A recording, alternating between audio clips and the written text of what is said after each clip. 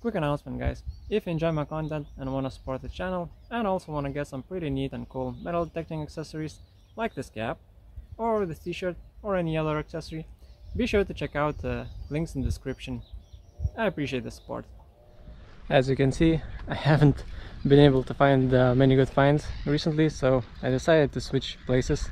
I have detected in this uh, beach before, so I'm gonna try deeper now and uh, see how it goes.